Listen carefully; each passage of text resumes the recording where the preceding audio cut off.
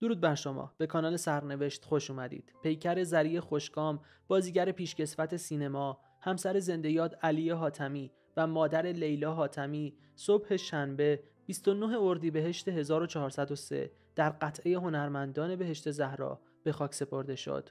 متولد سال 1326 بود.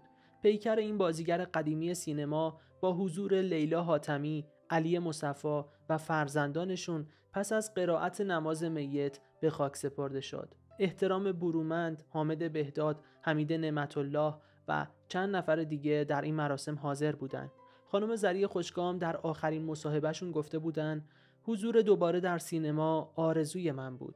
اصلا نمی‌تونستم از سینما دور باشم. سی سال اصلا اجازه نداشتم جلوی دوربین بیام. منو ممنوع چهره کرده بودند. ارشاد که تقریبا بعد از فیلم دلشدگان محترمانه کار کردنمون رو ممنوع کردند. در واقع علی حاتمی رو دق دادند. زری خوشکام تحصیلاتش رو در تهران و لندن گذروند. اشتیاق و علاقه او نسبت به کارهای هنری نخست پای او رو به رقص باز کرد. در این راستا او یک دوره آموزشی رقص باله رو در سازمان ملی باله ایران گذروند. پس از اون در سال 1350 وقتی 24 ساله بود جذب سینما شد. یکی از بهترین بازیگران ایرانی. با توجه به شرایط اون روزهای سینما و ساخت فیلم هایی که به فیلم های فارسی شهرت پیدا کردند او بسیار بیپروا نقش ها رو انتخاب می کرد و کم کم تبدیل شد به یکی از پرکارترین بازیگران سینما. منتقدینی مثل علیرضا نوریزاده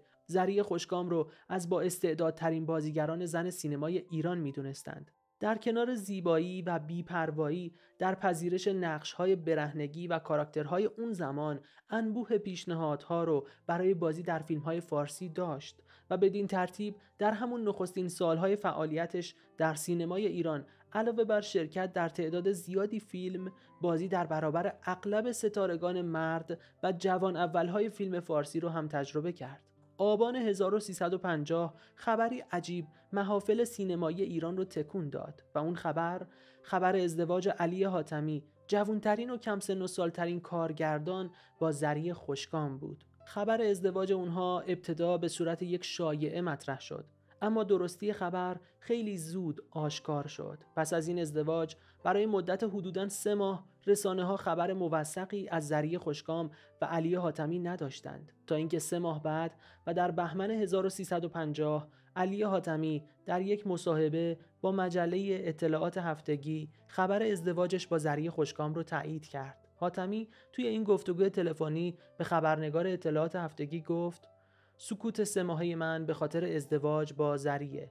از این به بعد توی کارهام شریک خواهد بود. به زودی کارم رو شروع می کنم و کارهای جدیدم از این به بعد از فرم فانتزی بیرون خواهد اومد و سناریوهایی رو که نوشتم روال تازه ای خواهد داشت. علی حاتمی تلویحا از تغییر رویه زری خوشکام و دوری از نقشهایی شبیه به نقشهای گذشتهش خبر داد و گفت در فیلم های جدیدم زری نقش ستاره زن رو به عهده خواهد داشت و کاراکتر او از این به بعد با گذشتش فرق می‌کنه. تهیه فیلم جدیدم که خواستگار نام داره از چند روز پیش شروع شده. نیمی از سرمایه این فیلم به عهده منه و زری هم نقش اولش رو به عهده داره. حاتمی گفت من بازیگر نیستم اما چنانچه روزی سناریویی که خودم نوشتم و مورد پسندم باشه به شرطی که کارگردان دیگری اون کار رو انجام بده به همراه همسرم زری در اون فیلم بازی خواهم کرد.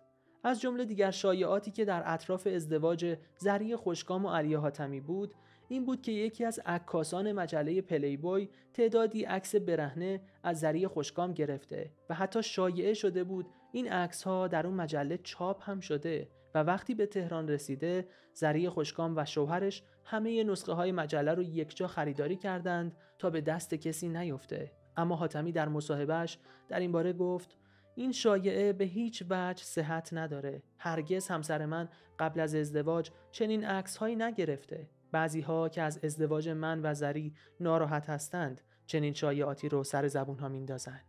با اینکه علی حاتمی توی این مصاحبه اعلام کرده بود که پس از این زری فقط در فیلم های خودم شرکت خواهد کرد اما با این وجود زری خوشکام پس از تولد نخستین و تنها فرزندشون یعنی لیلا حاتمی که در تاریخ 9 مهر 1351 به دنیا اومد عملا از سینما کنار کشید و تا قبل از انقلاب فقط در یک نقش یعنی نقش عزت و دوله همسر امیر کبیر در مجموعه تلویزیونی سلطان صاحب قران که سال 54 به کارگردانی همسرش ساخته شد ظاهر شد پس از انقلاب 57 اگرچه زری خوشکام سالها بود که با کنار کشیدن از سینما از این فضا دور شده بود اما با توجه به شرایط جدید کشور به ناچار هویت تازه ای رو برای خودش انتخاب کرد و بدین ترتیب با توجه به نام خانوادگی همسرش نامش رو به زهرا حاتمی تغییر داد. بازی در برخی قسمت‌های سریال هزار دستان از معدود بازی‌های او در سالهای بعد از انقلاب بود اما بخش‌هایی از بازی او به هنگام پخش حذف شدند و در نهایت همزمان با موج ممنوعیت کار بازیگران قبل از انقلاب به صورت رسمی ممنوع کار شد. البته قرار بر این بود که زری خوشکام باز هم در ساخته های همسرش ظاهر بشه اما علی حاتمی سرانجام پس از 25 سال زندگی مشترک در تاریخ آذر 1375 بر اثر سرطان درگذشت.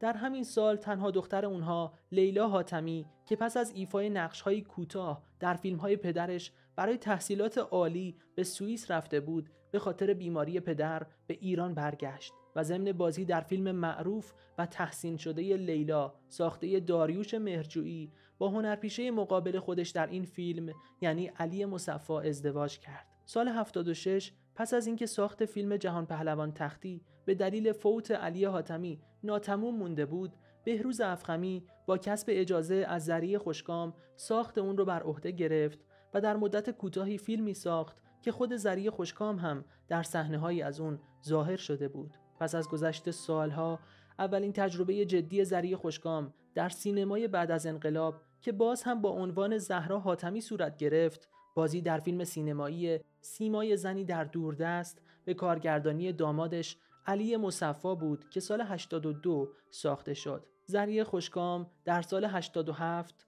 در دومین جشن انجمن منتقدان و نویسندگان جایزه علی حاتمی رو به عنوان بهترین فیلم نام نویس سی سال سینمای پس از انقلاب دریافت کرد.